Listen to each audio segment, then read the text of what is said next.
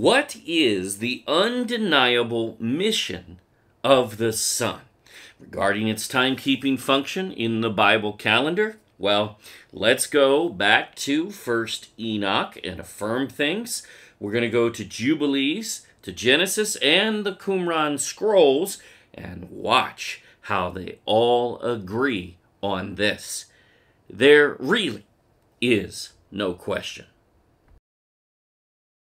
Again, Enoch 72 is very clear that the sun is the measure for the start of the year as the first law of the luminaries is the rising of the sun, period. There's really nothing to debate there. I know there's some trying, but come on. The sun goes out first and from the eastern gate, which is where it rises on the first day of the first month of the year period. All three categories. In other words, these all begin on the rising of the sun, period. Nothing to discuss.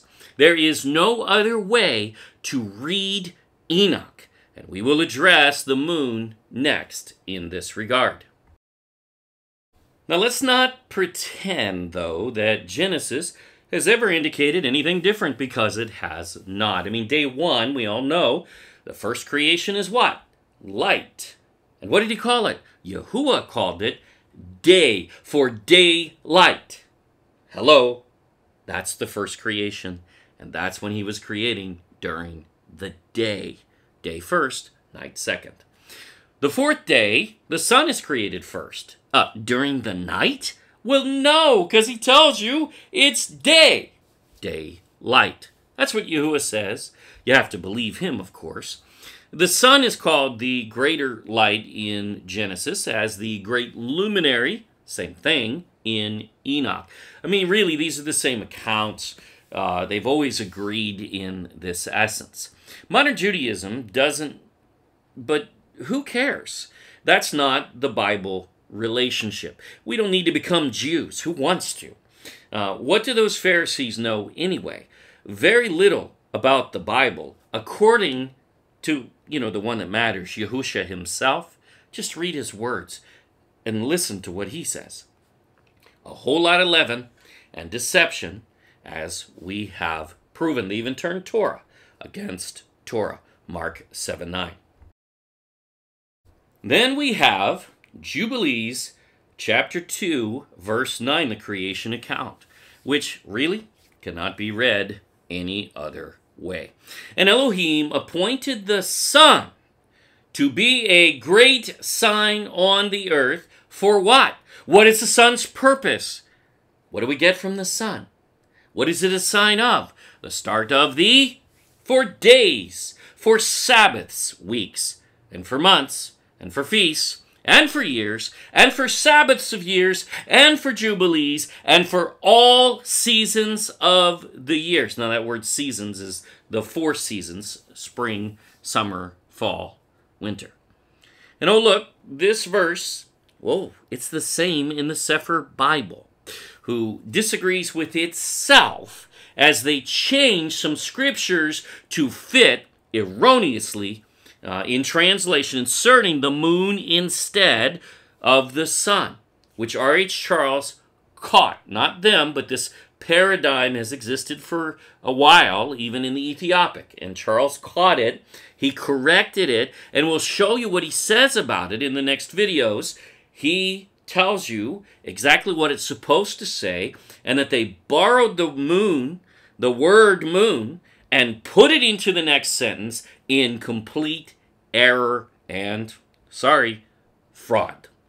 However, the Cepher Enoch tells us the sun starts the day, month, and year two.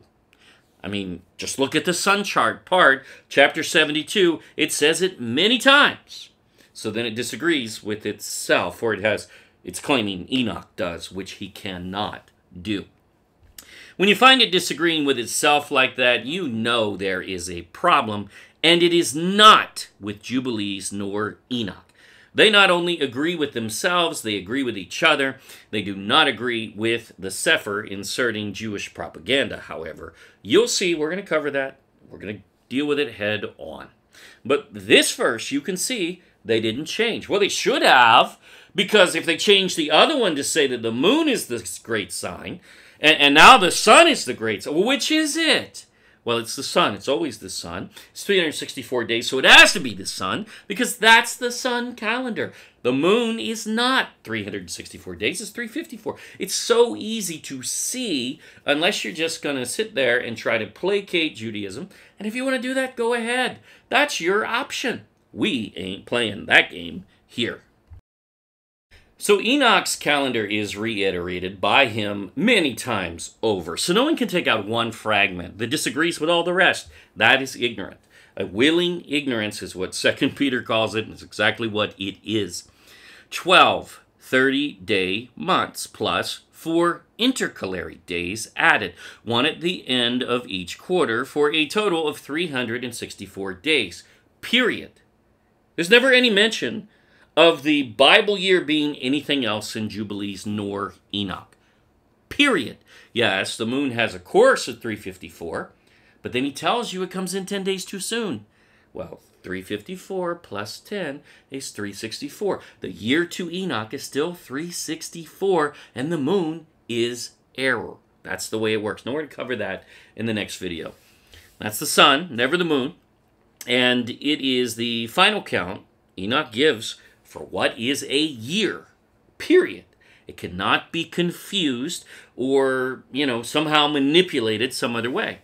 Here's what you have. You have 30, 30, 31, 30, 30, 31, 30, 30, 31, and 30, 30, 31. These are the four quarters. These are the four intercalary days added at the end of each quarter of 30 day months each with the one added at the end. So it's a perfect calendar driven by the sun as the measure. Never the moon, which doesn't fit this. It fails. The sun and stars bring in all the years exactly. Uh, what? Did you just read that? I mean, it's pretty clear, right? Uh, well, we know. Not in the Cepher Bible. Who changed it? It's not the same there. Now, we'll explain how R.H. Charles obliterates their walking back interpretation hundreds of years in willing ignorance. Don't worry, we're going to get there in the next couple of videos. Now, you know this is the sun because it says 364 days, and that is not the moon, period. So either Enoch conflicts with himself or they are wrong. Now, we'll go with Enoch as representing the truth uh, in all cases in comparison to the Cepher, uh, which is proven to, unfortunately, peddle some Messianic Judaism propaganda from time to time, uh, certainly, especially when he speaks. Uh, it is especially hilarious that anyone would actually claim the moon, which is 354 days, somehow brings in the 364 day solar year and with perfection. I mean, the words that are used, it's exact. Isn't that what it just said? Exactly. Well, that wouldn't be exactly, now would it? Because it's got to be adjusted by 10 days every year. You need 10 leap days, uh, which the way they do it is add a month every so many years, which is not in Enoch anywhere. It is not in Jubilees anywhere, nor is it in the whole of Scripture. And oh, that month named Adar? Oh, you mean the false god? Oh, yeah, we're going to deal with that too. Uh, coming up, a very bad error on their part, and we will point it out. But we'll prove this out in the next videos. Don't worry, we're not just going to say this and leave it. Then there is the spring equinox in March, equal day, equal night, right? Uh, no, it's not always March 20th or 21st on the Roman calendar, whatever date they give you. Uh, if you track the hours of sunlight, and you need to know where was Enoch talking about, from what perspective, because the equinox is not the same, for instance, in the Philippines, that it is in New York City. It's just not. Okay, um, those are are different. Uh, if you track the hours of sunlight, you'll you'll find different answers, uh, and who knows how accurate those the data even is that we're getting. Uh, one would only uh, really have to sit down and chart it yourself uh, to know that it's reliable data.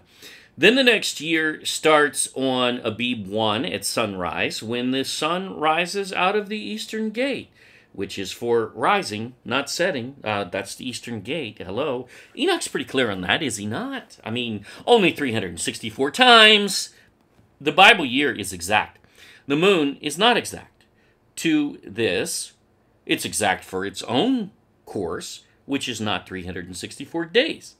It's illiterate to say that the moon is exact because it never works uh, on this calendar. The moon is a beautiful thing, but the moon is off and falls behind, and we'll cover it. Does that mean the moon is evil? Are we saying the moon is evil? Of course not. That's ridiculous ridiculous.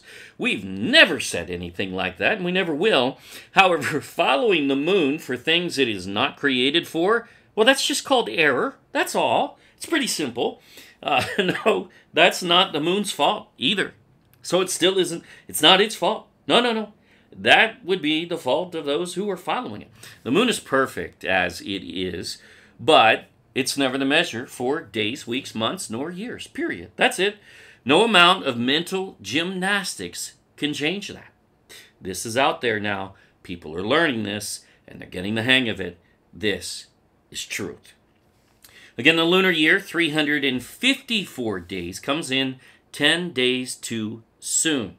354 in most mathematical systems. I think I want to say all, but who knows?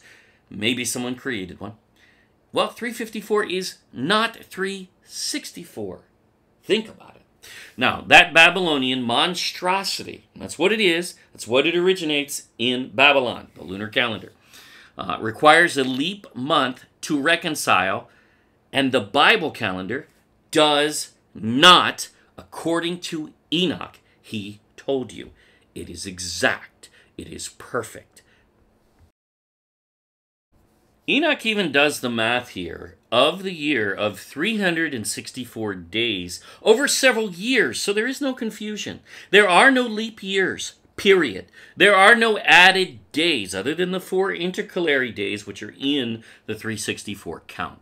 There are no added months, period. It is perfect as it is. Yes, the moon is also perfect as it is for its purpose which is not for days, weeks, months, nor years.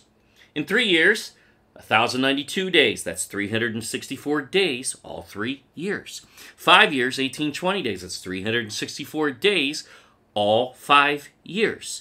And in eight years, 2,912 days, that's 364 days, all eight years. I mean, these numbers are so obvious. it, it, it, he does the math for you. So in eight years, there's no leap year, there's no leap month, there's no leap week, nothing.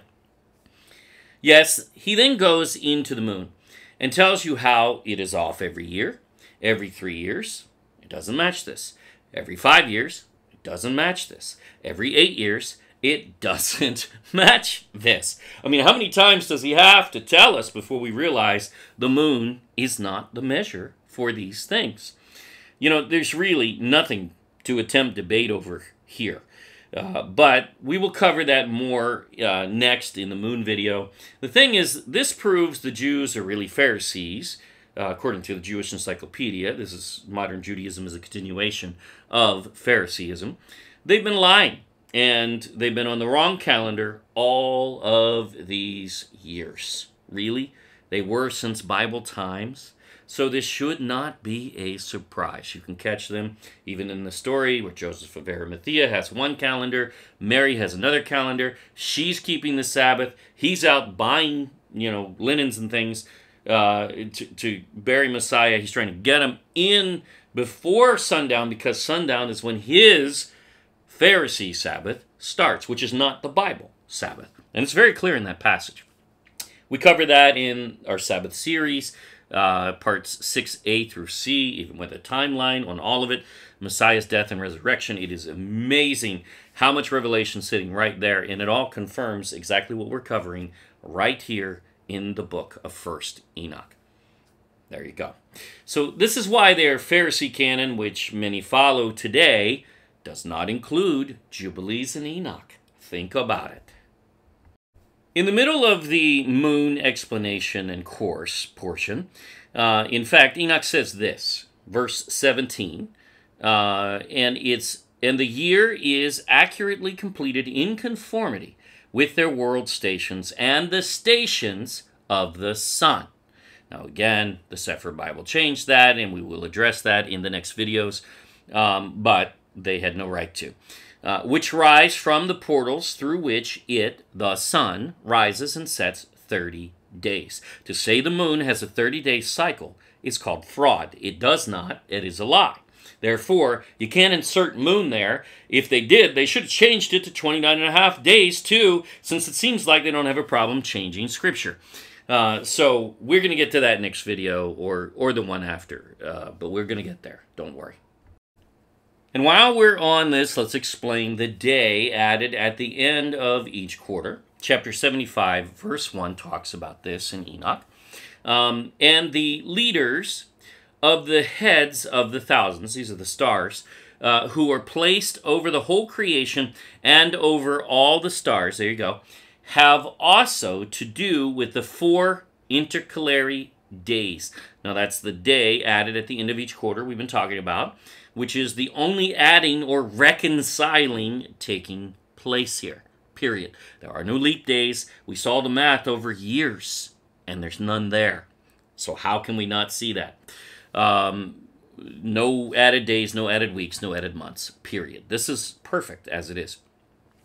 Being inseparable from their office according to the reckoning of the year, and these render service on the four days which are not reckoned in the reckoning of the year. See the word reckoned, reckoning? You see that that's used in terms of the intercalary days, not trying to add a 13th month, which is ridiculous and never found in Enoch, never found in Jubilees, and never found in the whole of Scripture, and then named for a false god at that.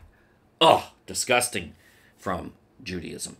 Again, the year is 360 days, plus these four intercalary days is 364 total, and that again is the sun. Period. Never the moon, which is ridiculous. And next verse, chapter or verse two, uh, the exactness of the year is accomplished through its separate three hundred and sixty-four stations. Did we read that? If the exactness of the year is accomplished as 364 days, what is there to discuss in terms of the lunar 354 versus the solar 364?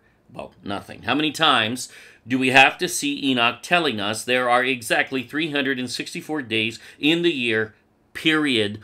And that has to be exact. It has to be precise. The language is so clear with no reconciles other than the four intercalary days. They are the reckoning, the reconcile already there in that number. How many times does he have to tell us the solar calendar is exactly, in fact, and exact, in fact, 364 days, and that's the sun. It's never the moon, period, which would always be off and never exact any year at any time. If it were the moon, it would never be called exact, not being 10 days too soon. I mean, exactly wrong, every year, exactly wrong every day, exactly wrong every month, and even exactly wrong every week as we tested that. Uh, it comes out that 22 of 52 Sabbaths are off annually if you follow this lunar calendar. Uh, it, it just doesn't work. There's no debate here. It's so easy to understand this. Enoch is very straightforward and he is brilliant the way that he wrote it and confirms and confirms and affirms over and over so that it couldn't be taken out of context. So that when someone puts out, uh, you know, the book of Enoch and they change one of the scriptures or two even, well, guess what? They need to go back and change all the rest and they can't. They'd need to change the whole 364 days of courses of the sun, which all say the day starts when the sun rises out of the eastern gate, period, period, period, the end. No debate. A couple more quick things from the Dead Sea Scrolls. What about the temple priests, the real ones, the sons of Zadok, exiled from the temple to Qumran Bethabara, where Messiah launched his ministry, endorsing their community and their Bible canon, in fact, which is the only one anyone could ever consider for such list. They didn't have Jasher, period, which tests and vets as an occult lie. Watch testing the book of Jasher, watch testing the book of Esther as well. Enoch and Jubilees were and are Bible canon. No, not, not in your Pharisee Bible, right? That the Catholic Council changed. What right did they have to change what the temple priests kept as the Old Testament? That is a stupid paradigm. Wow. So, no, not your Pharisee Bible, even from the KJV, but the temple priests Bible canon, the ones ordained to keep Bible canon by Moses himself, and also really by Jacob, and the only ones period to the first century. The notion that Pharisees were ever ordained for anything is against Scripture everywhere. Yahusha was clear. They turned Torah against Torah in Mark 7 9. They have the same calendar as Enoch and Jubilees in this community, which they kept as inspired Scripture, even labeling and using uh, in writing, in their own words, they say in the Damascus document, Jubilees is Torah and written by Moses. They say it's for the exact determination of the times, the book of Jubilees. Wow! Duh. Now, how can modern scholarship be so blind? Here we see they demonstrated a quarter as three 30 day months plus one intercalary day, right from Enoch. It is right there. This is the Bible calendar. It's also Jubilees, uh, such as, same as uh, Enoch and Jubilees both. Remember, Pharisees are accused by the temple priests, who were not liars, who remained holy according to Ezekiel. He says this three times when the rest of Israel strayed. Ha! Pharisees are not holy.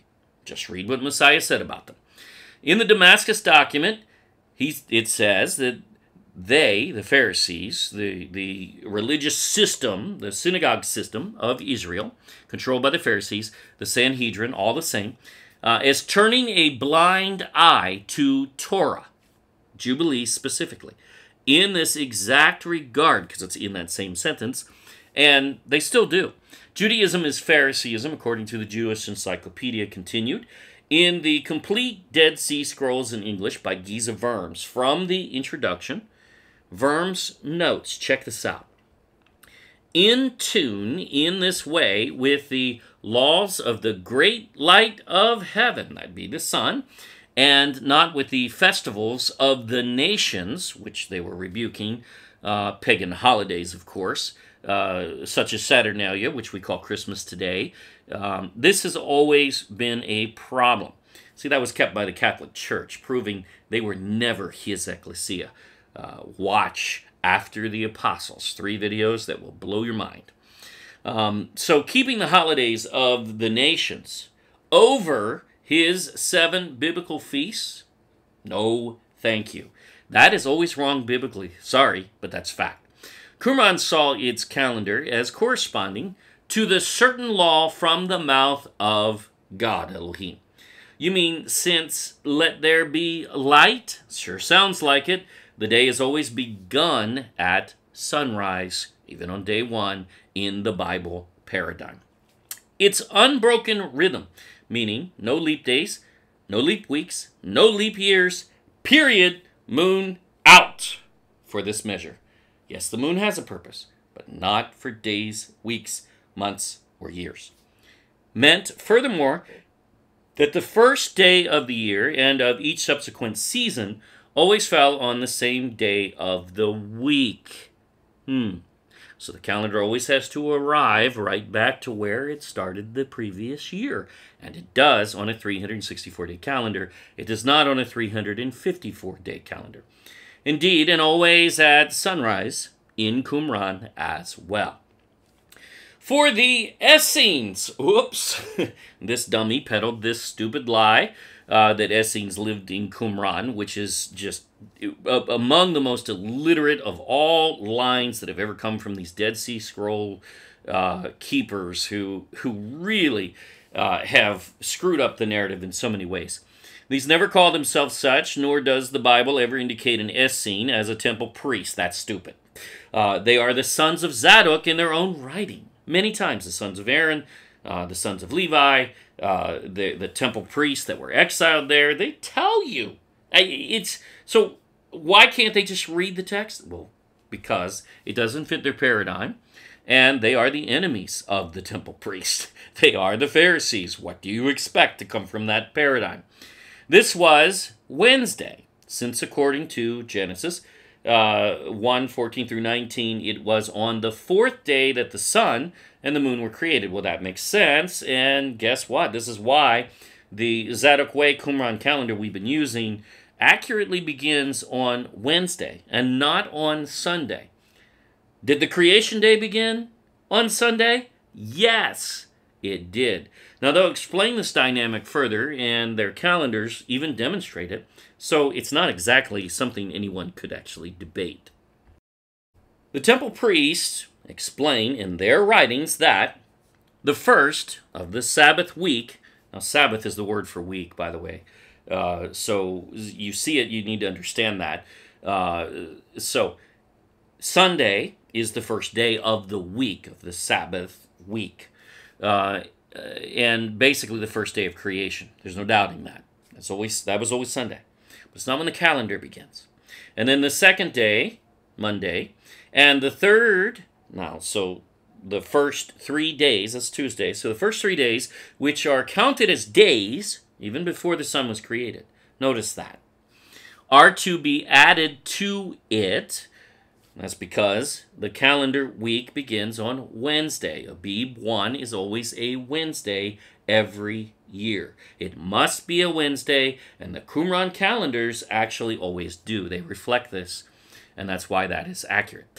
And the year is complete 364 days. Boom! That is the solar calendar, the solar year, the sun's exact 364 day course, never the moon just as they try to insert Essenes very stupidly. These uh, also, who can't read, uh, who run the Dead Sea Scrolls, also try to insert their Babylonian lunar calendar, but they cannot get away with it. Not here. You will find it sometimes in parentheses where they try to add words to passages. Uh, we've seen that, we've caught it, we've exposed it at times in other videos. It is fraud every time. Remember, the sun did not start time. The three days were counted before it was created. But it is the watch, or the measure, or standard, it's called the sign, for days, weeks, months, and years. The moon fails on all of those accounts, but it does have a purpose. It does, and it is a beautiful thing for feasts, but we're going to get there. The Jewish calendar is not the Hebrew nor the Bible calendar. It is the Babylonian one, and it's wrong every day, every week, every month, and every year, period. They even defile the feasts because you still need the sun to get to the feast date. And then the moon, as part of that day, defines the start of the evening event for three of the feasts in the beginning. So, two were historic events that were evening events duh. And one is an evening concept of atonement. So nothing there that is abnormal to scriptural precedents either. Now, here's just one month from the uh, one calendar of many found in Qumran Bethabara, uh, laid out here by Geza Vermes. Uh, see, the year begins on Wednesday, but the week still starts on Sunday. It's not the start of the week. Sunday's still the first day of the week. It's always been the first day of the week. Uh, and the uh, Sabbath has always been Saturday, the seventh day of the week, and it still is. No one can change that. Uh, Yahusha could have if uh, if uh, that were something he was uh, supposed to do, but he didn't do it. He said he wasn't going to do it, uh, so that didn't happen. The fourth day is when the timekeeper, the watch, was created. This is Abib, the first month of the year, right here on screen. Uh, it starts at sunrise, as Enoch could not be clearer in describing every single day as being uh, beginning with the sun rising in the east gate, period. There's nothing to discuss about this passage or that passage or this passage. There's 364 days of the sun starting every single one of them. There is never any discussion to be had about the moon being that measure replacing the sun. It has other purposes, but that is not its function. So, a little science taken on, and it fails. Enoch passes this simple quick test, and that should not be a surprise. Uh, the guy was far smarter than anyone living today.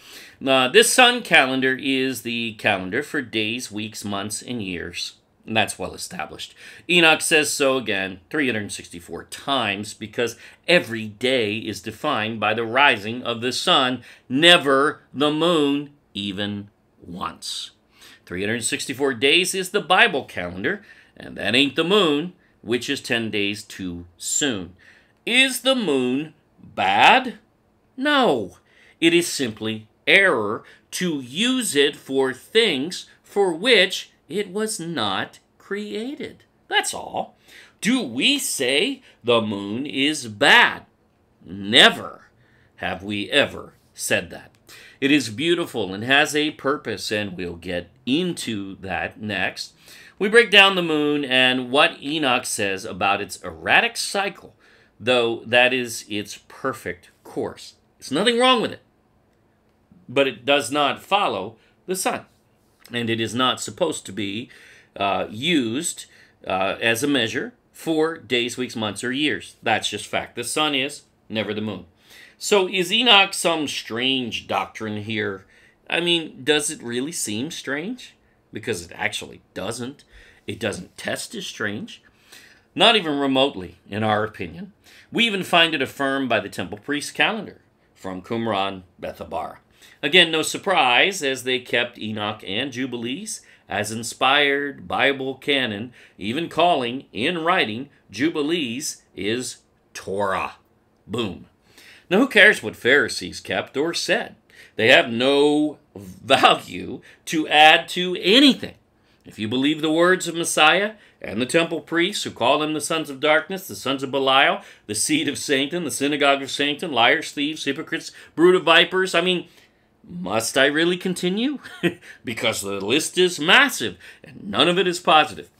Why have scholars lost track of this enemy? That's the real question. Yahusha did not, and neither do you and I need to. We can keep track. Next, we will continue with a couple of more videos uh, on this topic, but we're going to go into the moon, including our response to another channel out there uh, who must have somehow gotten a hold of the idea uh, that the moon is wrong, perhaps from us. Well, it is wrong, so there you go. And uh, the guy attempts to defend the moon, really weak, but we are going to address some of the things that he said. Uh, we'll slam dunk that next uh, because he doesn't actually make any valid points.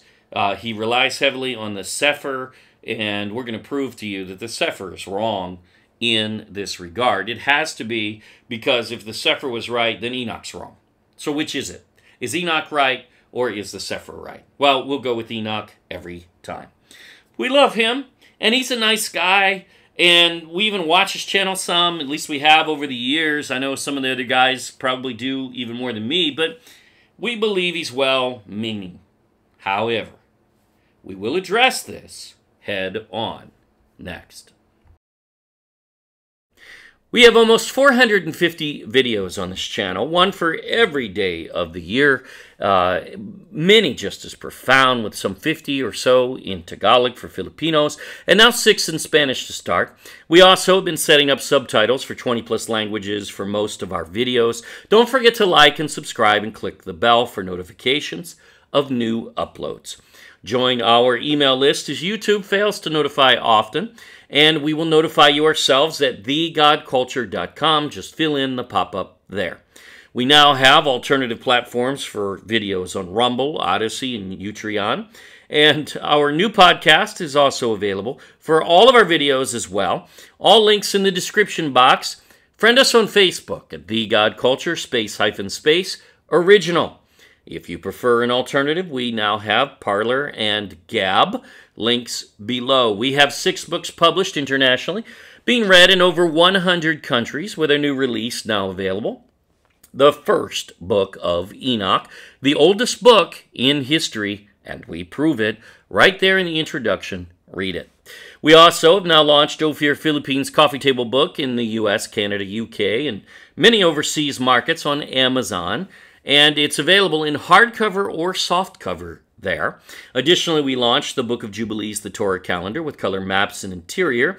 As so many had requested overseas, we already had that uh, with color maps in the Philippines. But that too is available in hardcover or softcover, uh, both in color or also in black and white, uh, if you wish. All books, including Solomon's Treasure, are now free in ebook. Yes, folks, our content is free. And don't forget, the book of Enoch, First Enoch, is also available in hardcover color, softcover color, and black and white color on Amazon. But in the Philippines, it's just black and white. That's all we can offer at this time. Just go to ophirinstitute.com for all the links for your area for all of our books. More coming soon. Thank you for watching. Now, always remember prove all things for yourself. Yah bless to everyone.